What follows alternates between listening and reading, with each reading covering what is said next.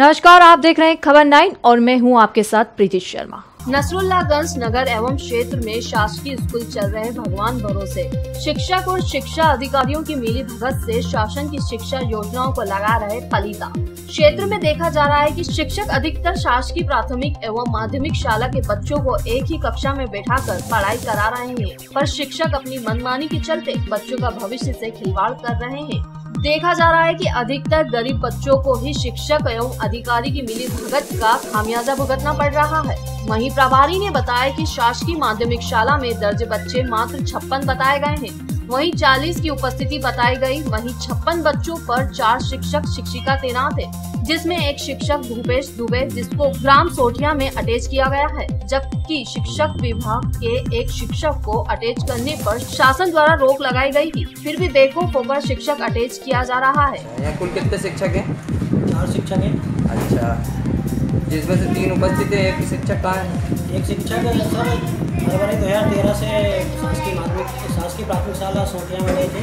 अच्छा। वो आज तक नहीं आया आपने उसकी मांग की? जी मांग की ना।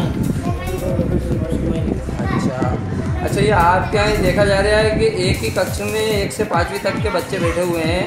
तो कक्ष नहीं है क्या आपके यहाँ एक्स्ट्रा कक्ष तो है लेकिन वो मिडिल के बच्चे बैठ रहे हैं। इस कारण से हमें एक कक्ष में बैठाना पड़ रहा है। तो फिर एक ही कक्ष में आपको एक से पाँचवीं तक के बच्चों को पढ़ाने में परेशानी तो होती हाँ होगी परेशानी होती है। तीन शिक्षक कैसे एक साथ पढ़ाते हैं? वो सब अलग अलग ग्रुप बार बैठा के पढ़ाते हैं। तो और बाकी के जो कक्ष हैं ये कैसे हैं? वो अनुपयोगी है। ये बी आर सी महोदय ने अनुपयोगी शिक्षक आए थे शिक्षण के टाइम पे अच्छा बिहार कौन थे उस वक्त? भूपेश सर। अच्छा तो सब- सबसे हम उसमें बच्चे नहीं बैठा रहे अच्छा जो कक्ष आपके पास एक अतिरिक्त देखा गया है जिसमें मध्यान्ह भोजन चलता है। ये स्कूल का ही कक्ष है?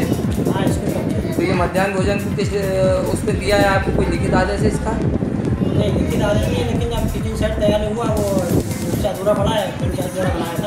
नहीं आज जो बच्चों को परेशानी देखी जा रही है अगर आपने उनको किचन सेट दे दिया है तो ये समस्या तो एक अलग हो गई ना नई समस्या हो गई। आपने जो लेकिन वो किचन वाला जो है ना दिया उपयोगी बच्चे नहीं बैठा सकते हैं अच्छा अगर मान लो कि कोई घटना दुर्घटना उनके साथ ही हो गई मध्यान्ह भोजन वालों के साथ ही हो गई तो फिर इसमें जवाबदार कौन रहेगा? नहीं वो ऐसी घटना तो नहीं सकती लेकिन उठाने लायक नहीं है वगैरह सब फूटा हुआ उसका। थोड़ा सा साफ़ सफ़ाई करके उसको हैं। अच्छा कुल कितने बच्चे दर्ज हैं आपके स्कूल में? फिफ्टी सेवन अच्छा उपस्थिति उपस्थित कितने बच्चे हैं? चालीस चालीस बच्चे उपस्थित हैं। अच्छा। नसरुल्लागंज से सलीम खान की रिपोर्ट। आज के लिए इतना ही बने रहिए हमारे साथ खबर नाइन में। और भी इसी तरह की खबरें आपको हम दिखाते रहेंगे।